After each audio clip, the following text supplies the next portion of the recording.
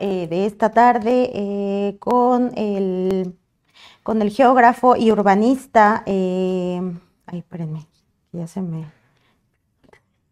Rogelio López Gómez, geógrafo y urbanista. muchas gracias por estar acá con nosotros y nosotras, Rogelio. pues vamos a conversar contigo respecto a este lamentable eh, suceso que, bueno, muchos catalogan como un desastre natural, otras personas también, eh, pues han sido críticas de llamarlo así, eh, pues estas 200, más de 200 muertes que ya ha cobrado este fenómeno que se llama, llamado DANA, en, Barcel en Valencia, al otro lado del, continente. Rogelio, pues han habido varias varias eh, situaciones allá, ¿no? Tanto eh, respecto a la gente, en específico de Valencia, pues que están bastante enojados, enojadas por eh, las vidas que se, que se perdieron, porque pues han señalado que no se dio aviso, que las alertas fallaron o bueno, que no, no sonaron a tiempo.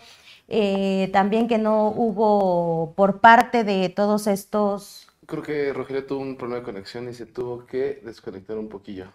Ah, porque este, ya no aparece en el Zoom. Ah. Pero sí, justamente es el tema, ¿no? Es el tema. Y vaya, ¿no? O sea que igual para poner como en... Ahí está Rogelio entrando otra vez. Mm. Ya está. Estaba ahí la ventanita puesta, ¿no? Hecha, Alexis. Hola, perdón.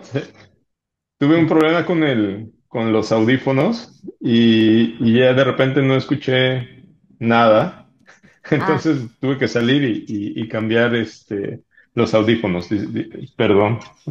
Mm, échale mano de otra vez. Sí, pues bueno, eh, como estaba comentando, este eh, fenómeno natural, pues que eh, la gente está muy enojada allá en Valencia por estas vidas que se perdieron, bueno, que cobró este fenómeno meteorológico, pero también ha sido criticado, ha, sido criticado fuertemente el gobierno, ¿no? parece que hasta se les aventó lodo, ¿no? en la visita de los reyes de Felipe VI, ¿verdad? y Lucía, eh, y del, Leticia, perdón, y del presidente, Pedro Sánchez. Eh, pues la gente está muy enojados con, e, están muy enojados con ellos porque eh, incluso se ha hablado pues de este capitalismo, ¿no? En donde pues no, no se dejó que las personas pararan sus labores y esto me recuerda mucho como a un poco Otis, ¿no? Eh, digamos, eh, tú escribiste una columna también ahí en pie de página al respecto, eh, pues también las vidas que siguen sin, las personas desaparecidas, pues fue por estas, estos empresarios o estos dueños de los yates en donde no dejaron, obligaron a los trabajadores, a sus empleados a que fueran a cuidar a, estos, a estas embarcaciones y siguen eh, desaparecidas eh, después de un año, ¿verdad? Entonces, Rogelio, pues preguntarte, eh, ¿qué nos puedes decir al respecto de este, de este suceso? en la cuestión de las personas responsables, ¿hay responsables y se podría decir que pues es el gobierno de estos desastres o, o quiénes más son las personas responsables? No nada más dejarlo en que fue un desastre natural. Claro. Hola, buenas tardes. Eh, les ofrezco nuevamente la, disculpa por, el problema que tuve. Eh, bueno, en este eh, tema de, la Dana que, sucedió en, en Valencia, bueno, yo tengo que aclarar, yo no soy un experto en, el tema de, los desastres como tal, ¿no? Sin embargo, tengo pues como cierta conocimiento o experiencia en, el tema de, eh, como geógrafo, pues cómo se, se van generando ciertas condiciones de carácter social que finalmente eh, aparece un detonador que en este caso pueden ser las lluvias, el huracán, etcétera. Y bueno, a partir como de, estas, de esta ecuación, eh, pues poder hacer un análisis, ¿no? Eh, bueno, tú, ya decías varias, varias cosas o varios elementos que están presentes en, pues en esta problemática, ¿no? Uno de ellos, eh, que, bueno, creo que muchos hemos escuchado también en los medios de comunicación, que eh, primero creo que no se dio una alerta temprana, ¿no? Respecto a, el fenómeno que estaba ocurriendo. en algún momento, el, digamos, el gobernador, ¿no? Este, de la Generalitat, creo le, le llaman de esa forma, dio una entrevista y dijo que, que la Dana se estaba de, alguna forma dispersando o que estaba teniendo unas condiciones eh, pues favorables y que bueno, em, que, que, la gente podría hacer de alguna forma su vida normal, ¿no? Estoy, este, no, no, no estoy diciendo exactamente que eso fue lo, lo que dijo, pero bueno, esa era la idea. Eh, después entiendo que ese video desapareció también de las redes sociales, ¿no? Pero bueno, aquí lo, lo, lo, lo interesante, lo importante, más allá de esta negligencia, ¿no? Negligencia criminal, ¿no? Porque pues, eh, finalmente costó la vida de, muchas personas este, inocentes. Eh, está también el hecho de, que estas personas, de alguna forma, eh, que tienen esta visión, digamos, una visión negacionista completamente respecto a, al cambio climático, por ejemplo.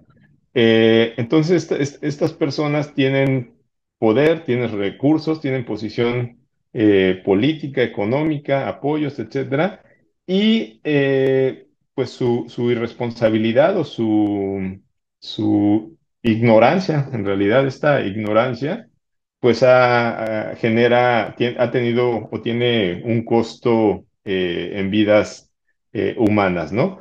Eh, no sé, seguramente también han escuchado que hace tiempo, no tiene mucho tiempo en realidad, esta, esta persona junto a su partido político quitó recursos para una, pues para un organismo eh, estatal que, se, que iba a dedicarse principalmente a, este tipo de amenazas, ¿no? Bomberos, este, personas capacitadas para responder a este tipo de amenazas y eh, los recursos los destinó, no solamente se los quitó a este tema, sino que lo los dedicó a la tauromaquia, ¿no? Entonces, eh, bueno, pues ese es el nivel de, de, la gente que, que, está tomando ese tipo de, de, decisiones. Y pues es muy preocupante porque la información eh, científica, los datos, pues ahí están, ¿no? O sea, eh, eh, él sabía, a él ya le habían dicho, también hay otro video muy que ya se hizo también famoso, viral, de un, este, también creo que es un diputado que es un científico, ahorita no recuerdo el nombre, pero él, él les está mencionando que esto va a pasar, ¿no? Que la DANA, que eh, a partir como de la información, de los registros que ellos están teniendo y de las experiencias que han estado observando y, con datos duros, pues que, que, va a pasar algo así, ¿no? Y este, y bueno, al final de cuentas, eh, e, este científico le regala un, un libro, ¿no? Un, un informe donde viene toda esta información este gobernador, esta persona lo, lo acepta pues como una forma burlona, ¿no? Entonces, bueno, eh, está todo, todo esto, ¿no? Estos elementos, estos eh, datos, esta información de carácter científico que, eh, pues lamentablemente no se, se ha considerado, ¿no? Y, y, y, bueno, en el caso particular de este fenómeno, no sé si ustedes también recuerden que, recuerdan que hace unos años, no, no recuerdo exactamente si son dos o no sé si el año pasado, en Libia hubo también un fenómeno asociado a, este, a la Dana, que también se hizo viral, ¿no? De repente llegaron los videos respecto a una ciudad en Libia que fue arrasada también en, en minutos o bueno, no sé si en minutos o en, pocas, eh, en pocas horas, este, con una cantidad de lluvia tremenda, ¿no? Entonces, eh, los datos están ahí, el calentamiento global pues no es un, es un mito, es una, una realidad. entiendo que el mar Mediterráneo está dos grados centígrados arriba, lo cual, pues a lo mejor desde cierta perspectiva, pues dices que son dos grados, ¿no? Pero bueno, a ese, a ese nivel, este, sí representa mucho, ¿no?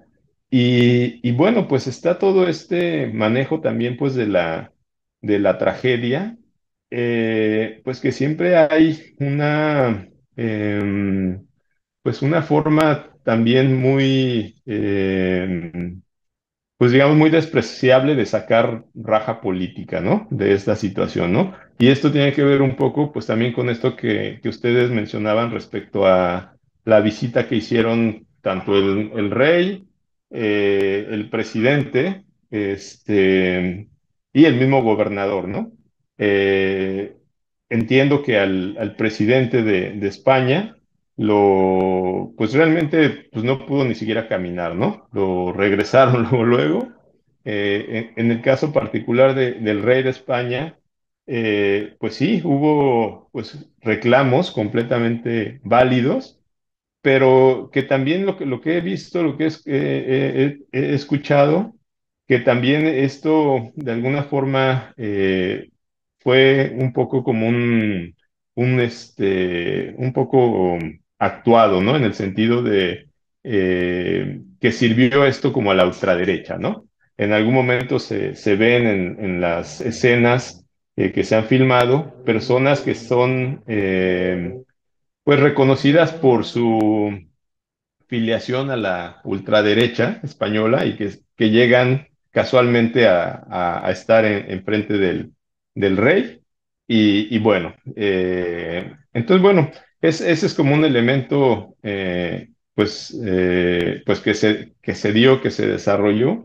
Y otro elemento también que, que me gustaría eh, destacar es como la gente en, en Valencia, o mu muchas personas, pues están totalmente mo molestas y, y, y, con justa razón, pues por la situación.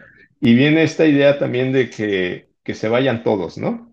La idea de los, eh, pues que sucedió, por ejemplo, en Argentina, ¿no? Respecto a que en algún momento todos los políticos son iguales y que se vayan, que se vayan todos, ¿no? Y la política, pues, asocia plenamente a, pues, una actitud, digamos, este, sucia en ese sentido, ¿no? Eh, entonces, bueno, es, es, interesante también, pues, como eh, plantear, pues, que también tiene que haber como diferencias, ¿no?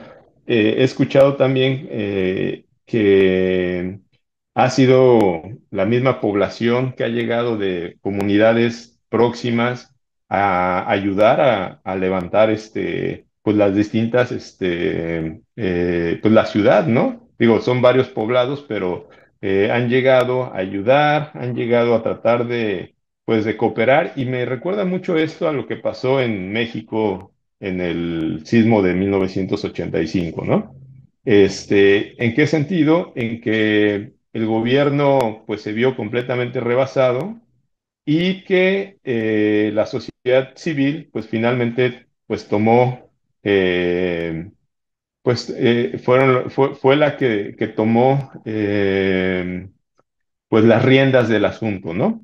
En el caso particular de los sismos de, de 1985, pues recuerden, bueno, ustedes creo que están muy jóvenes, pero eh, el presidente en ese entonces, Miguel de la Madrid, pues eh, prácticamente eh, desapareció, ¿no? En, en, en, momentos, ¿no? Entonces ahora me recuerda eso y me recuerda también pues la actuación de los jóvenes en el sismo del 2017, ¿no? En la Ciudad de México, donde pues un apoyo, digamos, espontáneo, pero que lo importante de, todo esto también es, además de, la ayuda que dan, pues que se va también generando una semilla de la organización, ¿no? Entonces, eh, otra cosa que, que, acaban, que, me comentabas eh, también respecto a eh, e, e, esto de la precarización laboral, ¿no? La gente, mucha gente pues ahora se cuenta entre los muertos, pues es gente que iba a su trabajo, ¿no? Y que nunca fue avisado o no les avisaron que, que no fueran, ¿no? Al trabajo porque iba a pasar eso. Y este, y bueno, la, la gente, finalmente, pues las condiciones que, que estamos viviendo de precariedad, pues obliga a la gente a arriesgarse, ¿no? Y, y bueno, pues ahí vemos las, las consecuencias de, pues sí, como, como dijiste hace rato, eh, este modo de producción, este capitalismo, pues totalmente salvaje, depredador, que, que no, no, no les importa, ¿no? Eh, es muy famoso también, o sea, es hecho muy, muy famoso eh, en estos días también los, las camionetas de una empresa española que creo que se llama Mercadona, que, este, pues que obligaron a sus empleados a, a seguir trabajando, ¿no? Entonces es una, em, pues una, una, una, gestión totalmente, em, pues digamos, eh, criminal en ese sentido de cómo actúan los empresarios y cómo actúan las, las, las los, pues los grupos eh, políticos. Y Perdón, pero otra cosa también que mencionabas era la, cuestión de esta, eh, este crecimiento urbano, que también está presente en esta zona de, Valencia, donde eh, se han pues, hecho distintos cambios a, las leyes para poder construir más en zonas pues, que tienen algún tipo de, de riesgo, ¿no? De inundación, etcétera, ¿no? Entonces, allá le llaman esto pelotazos, ¿no? Unas fuertes inversiones para construir conjuntos habitacionales, conjuntos este, residenciales, eh, igual que aquí, ¿no? Este, centros comerciales, etcétera, ¿no? Entonces, bueno, todos e-, esos intereses están ahí y, este, y bueno, es, digamos, es como el, el cultivo, ¿no? El, el caldo de cultivo, pues que finalmente aparece un fenómeno de estas características y, y pues eh, ocasiona esta situación, ¿no? Que, que sí, sí, hubiera sido distinta, pues con otra, eh, pues con otro tipo de medidas, ¿no? No sé, es, algo que... Y, perdón, o sea, justo, justo como en esto que, que comentas, eh, como para... Porque abre como muchas pistas esto, ¿no? Y luego como que nos parece lejano, como que, como ya lo decías hace un momento, ¿no? Vemos la imagen de que le avientan lodo al rey y al presidente, a la reina, y uno le da gusto. Hay análisis, como ya lo resaltas, que dices, bueno, está la ultraderecha de fondo. Otros dicen, bueno, sí hay grupos de la ultraderecha, pero también fue una reacción espontánea de la población que, pues, o sea, hasta el rey ya no fue a las otras comunidades, ¿no? o sea, ya, ya dejó de salir porque pues ya lo van a manchar de lodo. Y mientras eso pasaba en, en España, ¿no? O sea, con la Dana, con estas lluvias, con todo este fenómeno, también pues hay noticias de que, por ejemplo, tras el huracán, tras la tormenta tropical, perdón, Nadine, en Veracruz también hay como desplazados climáticos, ¿no? O sea, se habla de 1.680 personas más o menos, eh, pues de que se les inundó su, comunidad, ¿no? en la montaña de Guerrero también sigue habiendo como, como el problema muy fuerte. Acapulco. En Acapulco. Vemos también justamente algo que, por ejemplo, Camilo y yo reportemos ahora con Beryl, ¿no? Que el calentamiento de los océanos ahí en el Golfo de México, pues cada vez nos está haciendo muy, o sea, tanto en la península como en el Golfo y en otras regiones, nos está haciendo muy vulnerables a ese tipo de fenómenos. Y algo que tú has trabajado mucho en estas columnas y que yo quisiera como preguntarte al respecto es, está bien, el rey, España, todo este contexto que ya nos diste allá, eh, pero también aquí en México está pasando lo mismo. Hay un fuerte desarrollo inmobiliario, turístico en las costas que está generando vulnerabilidad en las poblaciones y a lo mejor no falta mucho para que en algún momento, en otra temporada de huracanes, pues podamos ver que le avienten lodo a lo mejor a Claudia Sheinbaum, a Evelyn Salgado, ¿no? A, a, estas personas. ¿no? Jara, porque vaya, vaya que también hay problemas de estos aquí en el país, ¿no? Entonces, ¿cómo, cómo digamos, es la lectura que tú tienes de, de estos impactos de, del cambio climático, de los huracanes, de las lluvias, eh, justamente ya en, en, términos sociales? Como geógrafo también que te has dedicado a estudiar esto, ¿no? Sí, es, es muy interesante esto que, que estás planteando, ¿no? Porque eh, finalmente, aunque no, no, no hemos visto eh, esas escenas todavía en México, ¿no? O sea, creo que por la gestión, por ejemplo, que ha hecho Evelyn Salgado, o sea, ya se hubiera ganado esos este, tomatazos y lodo, porque Sí, su gestión ha sido terrible en ese, en ese, en ese aspecto, ¿no? Este, la, no, no podemos tampoco entender a Evelyn Salgado sin todo el respaldo que ha tenido, pues, de Morena y de, pues, de la, de la misma presidencia, ¿no? pero, pero yo creo que, que eso tiene cierta caducidad, ¿no? Y, y bueno, como, como, como hemos estado viendo las cosas, pues, eh, pues cada año, pues va, va, parece que, que esto se va haciendo cada vez más, eh, más, eh, más severo, ¿no? Y, y yo creo que va a llegar un momento en que no puedes, no vas a poder como gestionar esta inconformidad, estas molestias, esta, pues esta situación, ¿no? Porque al final de cuentas, o sea, lo, que está en, en el, en el fondo, eh, creo, pues es eh, sí un modo de, de, de planeación territorial, pues que ha permitido pues que se, se den estos elementos de vulnerabilidad, ¿no? Por, por decirlo de alguna forma, ¿no? Y esto no es solamente eh, que a partir como de, de, los últimos años con el calentamiento global y con estas cuestiones que son cada vez más evidentes, eh, que afloren, ¿no? Sino, pues cuando no había tantos datos respecto a eso, cuando no era evidente, los desastres de ese tipo se estaban sucediendo, ¿no? Entonces, digo, pensemos, por ejemplo, en, pues en el, pues hace muchos años, el huracán Gilberto, este, que atravesó la península de Yucatán y fue directamente a Monterrey y fue- se recuerda como una de las, de, de las peores tragedias. Entonces, bueno, es- esos, es- esa situación ha, ha existido, las condiciones ahí están, y lo que, lo que es preocupante es que seguimos de alguna forma apostándole a ese modelo de desarrollo, eh, pues, por ejemplo, basado en, eh, eh, por ejemplo, la actividad turística, ¿no? Hace, eh, yo creo que fue hace como 15 días, eh, escuché que eh, en este contexto de, eh, que se hablaba de la reforma, de la reforma judicial y cómo esta reforma inhibía las inversiones, este, iba a inhibir las inversiones extranjeras, particularmente las de Estados Unidos. Y entonces, eh, en alguna eh, eh, reunión de Claudia, la presidenta Claudia Sheinbaum, con, con, este, con alguna cámara de comercio de los Estados Unidos, decía la cantidad de dinero que, que estaba ingresando, que iba a ingresar por inversión extranjera directa, ¿no? Y a mí me llamó mucho la atención un dato. Hablaba de una inversión de miles de millones de dólares para desarrollar este bacalar en, en Quintana Roo, ¿no?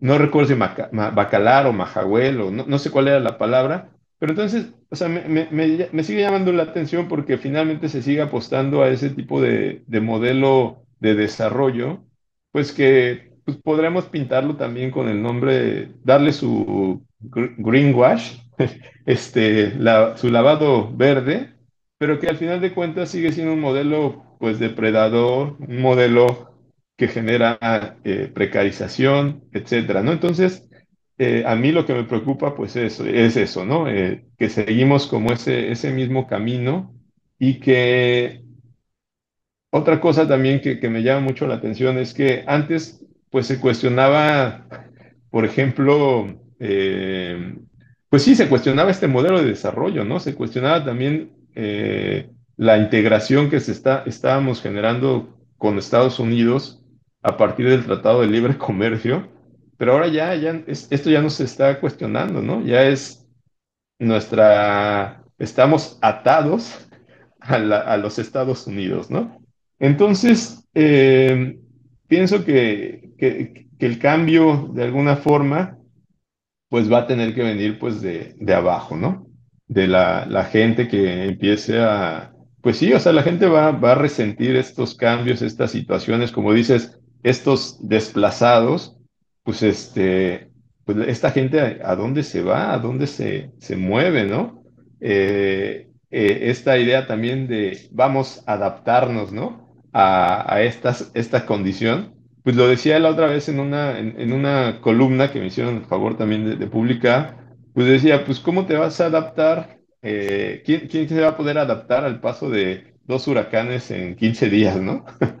Entonces, digo, eh, el, panorama en ese aspecto es como bastante complejo y, yo creo que, que, sí tenemos que pues estar muy, muy atentos, estar tratando de, de, pues de hacer visible esta, esta situación, ¿no? Vemos a este, el presidente de Colombia, ¿no? En sus discursos, este, y pues lo, lo, tiran como de loco, ¿no?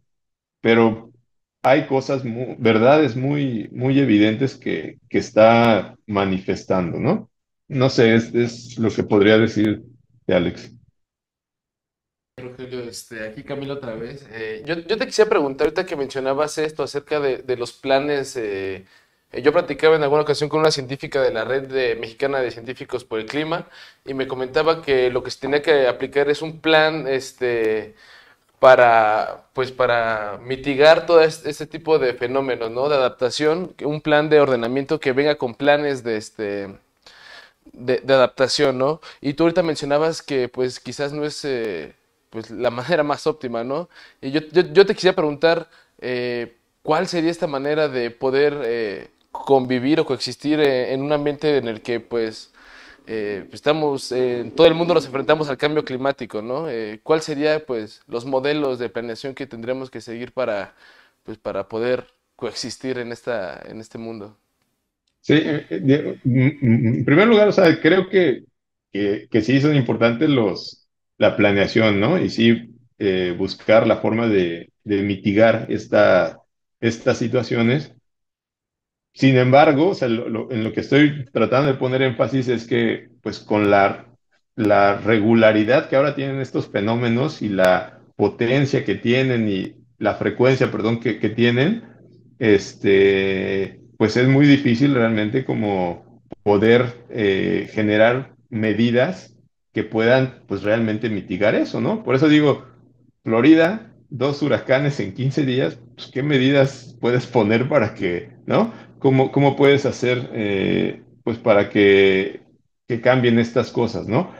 Eh, e, e, es, es algo, yo creo que complejo porque seguimos como apostando al mismo, digamos, estilo de vida, ¿no? O sea, sigue siendo esta idea, eh, esta, esta, es, en el imaginario que se nos ha creado, pues es vete de vacaciones a la playa. En, antes era, pues el, el, complejo es irte a estos grandes hoteles, ¿no? Eh, todo incluido, etcétera. Y ahora, pues ya es un hotel, pues como más rústico y etc, etc, ¿no? Pero el imaginario es ese, ¿no? Y entonces, mientras sigamos como en esa misma lógica, eh, siga siendo este un objeto de, pues sí, de consumo, pues es muy difícil como cambiar este, y generar pues una, em, pues hacer, generar cambios que, que puedan hacer que, que, pues que ese tipo de fenómenos, de estas situaciones, no, no peguen con esa intensidad, ¿no? Yo creo que el, em, el, el, cambio estaría en, pues sí, tendríamos que generar otro tipo de, de, hábitos, otro tipo de hábitos de consumo, de producción, otro, digo, es, una, em, pues ahora ya no se habla tanto, ¿no? Como de, de cambiar el modelo económico, el modelo de producción, porque pues siempre hay como esta, estos ataques, ¿no? De, este, no funciona el socialismo, ¿no? Vete a, Cuba, ¿no? Ve a Cuba cómo está, ¿no? Entonces, eh, se ha generado también toda una, eh, un discurso que hace eh, que, que tengamos ya la incapacidad de poder pensar en alternativas al capitalismo, ¿no? O sea, ya no, ni siquiera podemos decir eso, ¿no? O sea, no, o sea, ya, en algún momento también escuché, no recuerdo ahorita o leí, pues que, decían que siempre es más fácil eh, o, podemos, por ejemplo, imaginarnos el fin del mundo, pero no el fin del capitalismo, ¿no? O sea, llegamos como a estos extremos, ¿no? O sea, sí podemos pensar en un mundo apocalíptico y esto, pero no podemos pensar en un mundo sin, sin capitalismo, ¿no?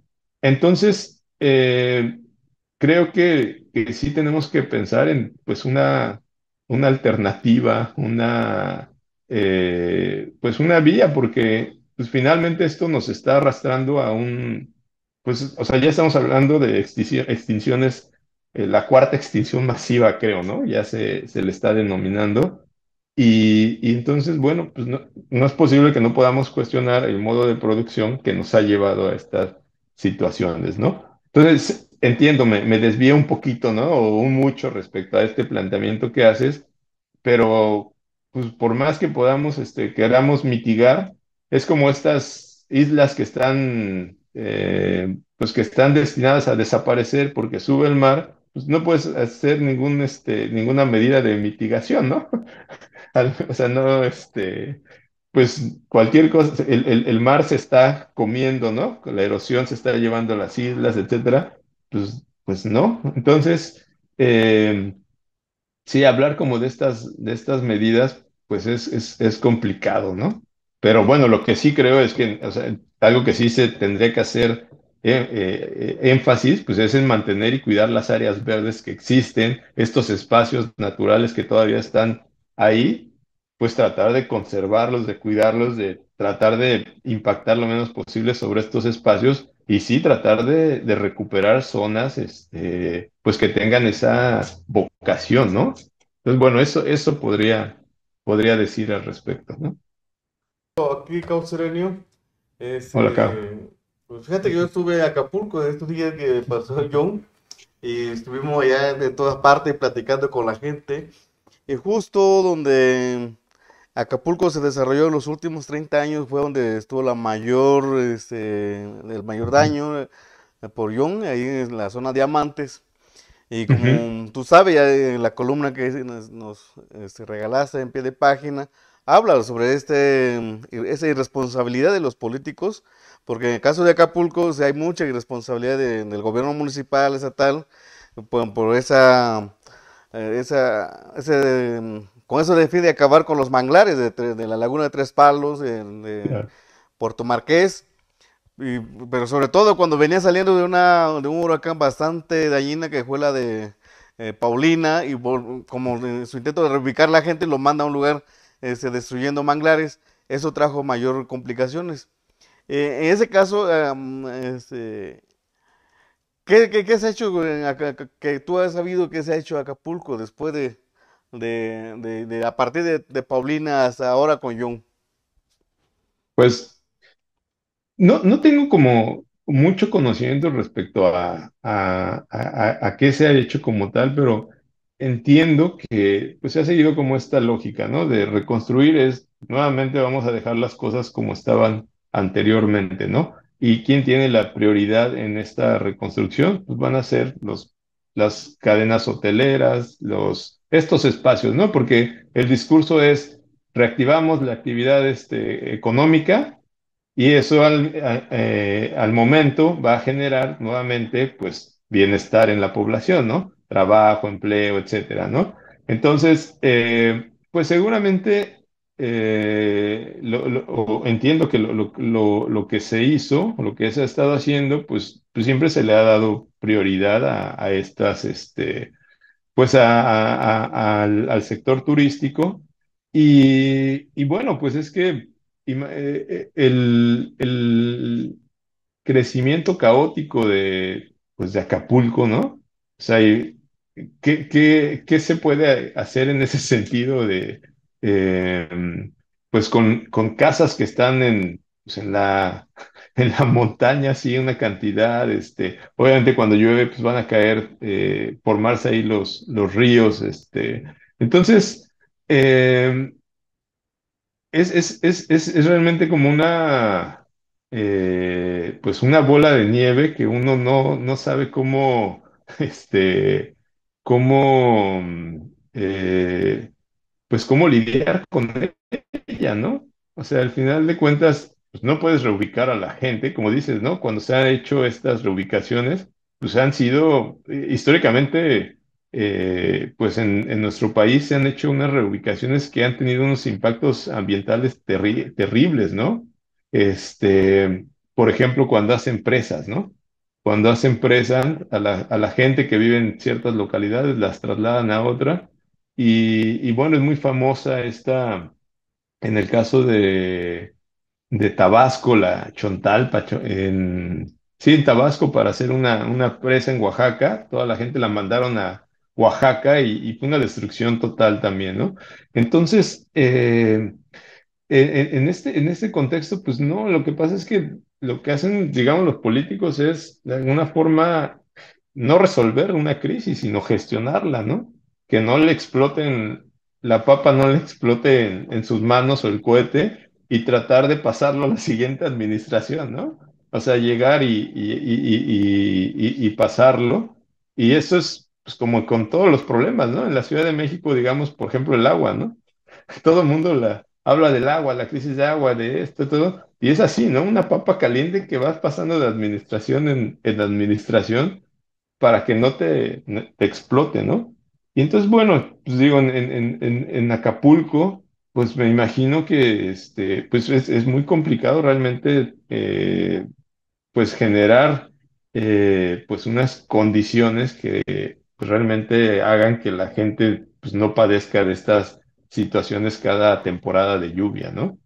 Entonces, pues eso, e- e- e- eso podría decir porque no tengo como el conocimiento tampoco exacto de, cómo se ha, llevado esto, ¿no? Ujú. Muchísimas gracias, Rogelio. Pues te agradecemos que hayas estado esta tarde con nosotros conversando, eh, eh, pues que hayas puesto sobre la mesa esta reflexión que me parece bastante importante, eh, que pensemos eh, en esta invitación, ¿no? A pensar en las formas de producción, en nuestras formas también, en nuestros hábitos de consumo, incluso en los destinos para ir a a, a- a- a vacacionar, ¿no? Creo que es una gran reflexión y pues muchas gracias por haber estado esta tarde con nosotros y nosotras, Rogelio. No, es un placer para mí. Muchas gracias por, por invitarme. Y cuando quieran, que estén muy bien. Gracias. Igualmente, Gracias, gracias. Hasta luego. Hasta luego.